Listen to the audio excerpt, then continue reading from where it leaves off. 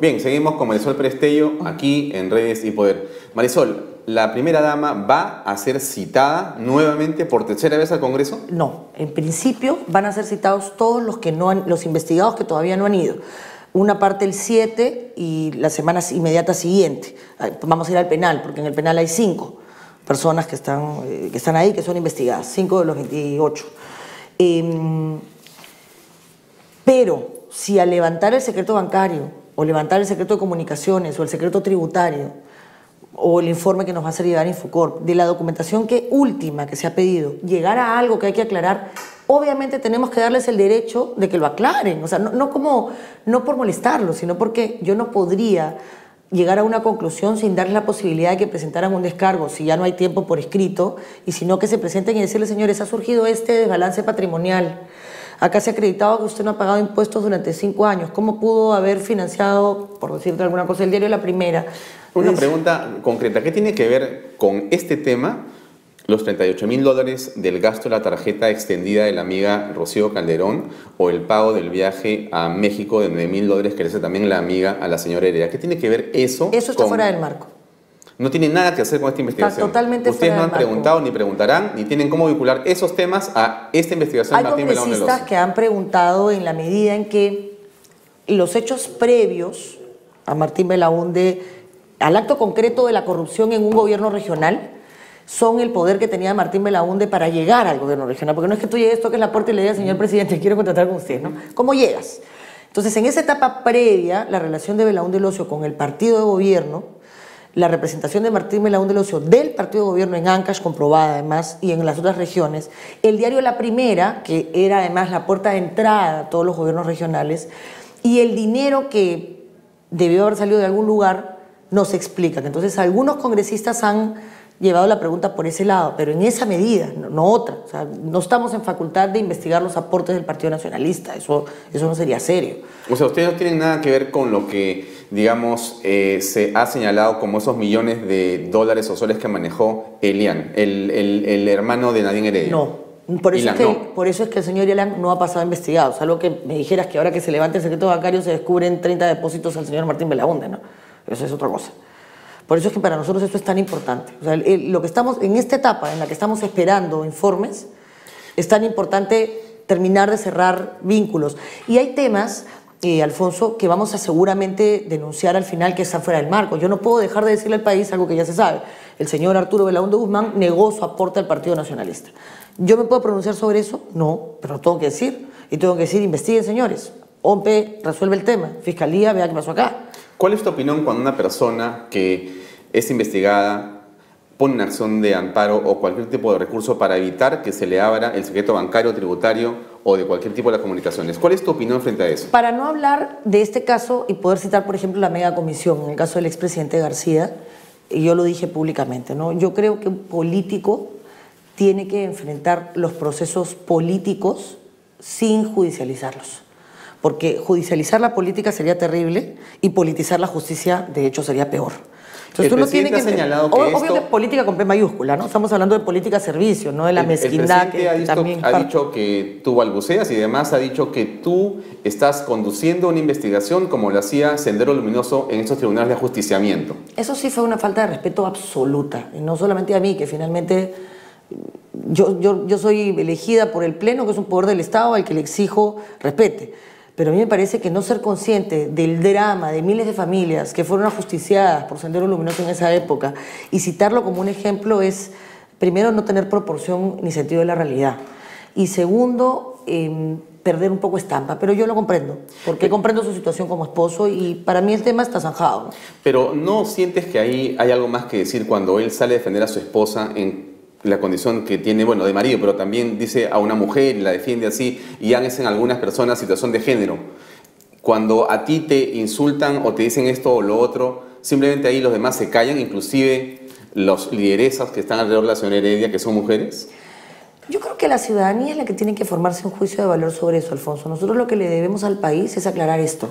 Y tenemos que estar dispuestos, y creo que los congresistas lo estamos, y hemos dejado en la puerta nuestros partidos, nuestras diferencias políticas, en aras, por supuesto, de poder explicarle al país qué pasó en cada región y cómo es que el señor Belaunde llega. Y por supuesto siempre existe la presunción de que el señor Belaunde no haya tenido responsabilidad. Porque lo que hay son hechos de corrupción comprobados. Sí, pero también hay un, hay un, silencio de Martín Belaún de entiendo. Él no ha dicho nada. no ha dicho nada. Ha, señalado que quería que se les explicara específicamente por qué lo estaban investigando. O sea, quería salir de esa etapa más bien difusa, que es la etapa indagatoria. La sentencia García separa la investigación en dos etapas. Dice, hay una etapa indagatoria que puede ser más bien abierta, general, en la que se está tomando conocimiento un poco del marco del rompecabezas. Y hay otra etapa, que es la etapa de investigación, donde la gente tiene que saber cuáles son las imputaciones. Y cuando hablo de imputación, no hablo necesariamente de derecho penal, también es hechos. Las imputaciones son hechos. ¿Cuáles son los hechos que me atribuyes para yo poder defender? Claro, pero ahí entramos en esta crítica que algunas personas hacen a las comisiones parlamentarias, en el sentido que no llevan a nada. Es decir, lo que están buscando los protagonistas o las cabezas de las comisiones son eso, básicamente pantalla para reelecciones y lo han dicho en el caso tuyo también. Bueno, eso finalmente lo, también lo juzgará la historia, pero sí llevan a mucho en la medida en que se entienda cuál es el objetivo. Si una comisión investigadora, por ejemplo, como la de López Meneses, si hubiera discutido en pleno, mira todo lo que se invierte en una comisión investigadora, porque son asesores, son viajes. La comisión López Meneses hizo un buen trabajo. ¿Cuánto han gastado ustedes en investigar esta de Martín Melón del Ocio? Más o menos, grosso modo. No tengo idea. ¿Un millón, diez millones, no, no, no, no, 20 millones no de porque, soles? No porque tenemos recién siete meses, no, no, no hay forma. No hay forma. 660 mil fue el último reporte que yo tuve, pero debe ser un poco más. Pero mira, hay cada... 660 mil soles. Sí. Se ha viajado a todas las regiones, a todas. En todas se ha sesionado, a todas las que estamos investigando. En todas ha habido sesiones. Cada congresista tiene un asesor experto, evidentemente, en el tema que le interesa al congresista que, que está en esa comisión. Se ha trabajado un promedio de 37 sesiones en Lima y 7 sesiones descentralizadas a más o menos 6 horas cada sesión. O sea, ha habido trabajo y una producción. Si eso no se discute y no se lleva al Pleno, es una vergüenza. ¿Y quién decide si eso va o no va al Pleno? El presidente del Congreso, pues. ¿Por qué López Meneses no se ha debatido? ¿Porque su presidente no ha querido? Porque el presidente del Congreso no ha querido ponerlo en agenda y no ha querido priorizarlo en el debate. Ya, la señora Heredia fue la que prácticamente a dedo colocó a Ana María Solórzano como presidente del Congreso, por lo tanto, lo hizo para esto. No lo sé, a mí me releva de tener que dar cualquier opinión lo que ha sido este último año en el Congreso, ¿no? Eso lo ha visto todo el país. Es, gracias a Dios se termina pero, pero hay que respetar esta institución. O sea, el, poder, el Congreso puede tener congresistas que son muy malos, puede no gustarnos a muchos, y yo también soy ciudadana y también me, a veces digo, ¿qué, ¿qué hago acá?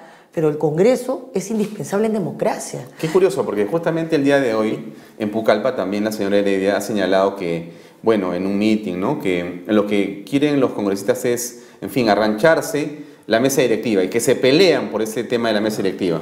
¿Qué, tienes un comentario sobre esa Por supuesto, no sobre la opinión, pero en general la mesa directiva tiene solamente una ventaja.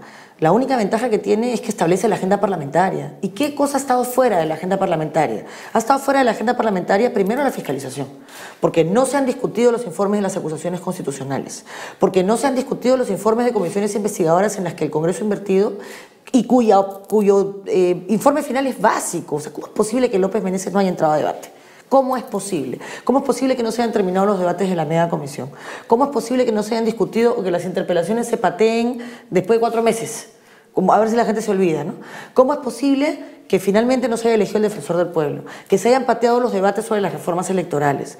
¿De qué estamos hablando? Bueno, pero entonces estás tú acusando, acusando con claridad, por lo que comentas, de que la gestión de Ana María Solórzano por lo menos ha sido incapaz y por lo menos ha promovido la corrupción pésima, por lo menos no lo ha impedido, y para mí eso es también responsabilidad.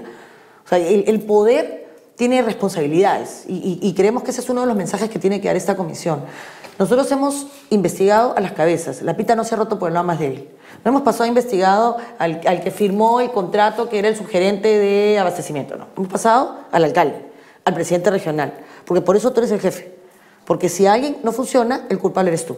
Ya será la ciudadanía la que luego respalde o no respalde aspiraciones políticas de la persona que ha sido cuestionada. No necesariamente va a tener responsabilidad penal, pero por lo menos que se sepa que durante su gestión pudo pasar esto porque no pudo impedirlo y eso ya demuestra cierto nivel de negligencia. Ahora, si hay además complicidad, ya la cosa es más grave. Pero yo creo que el, valor mayor, y con eso termino tu pregunta anterior, el valor de una comisión investigadora para mí es la reforma. No te olvides que tenemos que fiscalizar, que tenemos que derivar a Fiscalía para que haga su chamba Pero lo más importante es qué cosa hay, qué cosa existe en la legislación o en la política pública que si sigue así no va, va a permitir que esto vuelva a pasar. Nosotros hemos identificado hasta siete cosas. Estamos agrupando los proyectos de ley para poder plantearlos todos juntos. Primero hemos identificado que hace 14 años se está discutiendo la independencia de los procuradores, hace dos legislaturas y parte de esta. O sea, lo de Príncipe y lo de, mm, lo de Jenny Vilcatoma no es un hecho nuevo. En todos los gobiernos, o en muchos de ellos, se ha pensado que el procurador defendía al gobierno de turno, cuando es ese el que tiene que ser más investigado, porque tiene tus impuestos, los míos y los de todo el Perú, de la gente que chambea. Entonces lo que tienes que hacer es garantizar la autonomía y la independencia de los procuradores desde su elección hasta quien le paga, a, a quien le rinde cuentas. Lo segundo es que acá hay una ley de nepotismo, Alfonso, y nadie sabe quién es tu primo.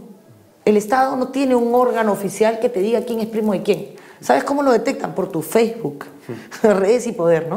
O sea, no es posible que no haya una institución que te diga, mira, el señor, este es su árbol, su padre, su madre, su hermano, este si es padre de este, también es primo de este, cuarto grado de consanguinidad, segunda afinidad, se aplica ley de nepotismo, se aplica prohibición de contratar con el Estado. No existe. Tenemos que ampliar el marco de RENIEC para que exista como obligación y también tenga el presupuesto. Y UIF también lo necesita, porque si no, no puede hacer los árboles. ¿O tú crees que la gente te coimea y te da un cheque? Imposible. Imposible, pues le deposita la cuenta de la hermana de tu prima, de tu amiga, que es- eso necesita información. OCE y Contraloría quieren hacer bien su trabajo, hay gente buena en todas partes. Y necesitan reformas legales para cerrar algunos vacíos, porque les mandan una carta falsificada y no tienen cómo, cómo saber, no hay una numeración correlativa, no hay un sistema de reporte como para que tú veas si la carta es falsa o no lo es. Eso hay que generarlo. Y así hay varios temas que hemos detectado que, que son los que permitieron que esto pase. Por ejemplo, a mí ese no creo que lo podamos tener listo, pero lo vamos a plantear. En México y en Colombia funcionan los fideicomisos. ¿Ya qué pasa aquí? Todas las obras aquí, la coincidencia, todas han estado en un avance de obra al 30, 40, 50, 60% y han pagado el 70%. ¿Qué tal? ¿Quién te devuelve ese 20%? Nadie. ¿Y ¿Sabes cómo se ha resuelto todo? En arbitrajes amarrados, donde el árbitro era Tremendo. En Colombia y en México hay un fideicomiso. Si yo te doy 80 millones para que tú hagas un puente, una, una institución administra esos 80 millones. Esa plata entra al mercado, se moviliza. Y si a ti te dan un mango más de lo que en realidad está construido, quien lo asume es esa empresa. Entonces el Estado no pierde. Y eso hay que implementar mecanismos inteligentes que han funcionado en otros lugares para que la gente no se robe la plata.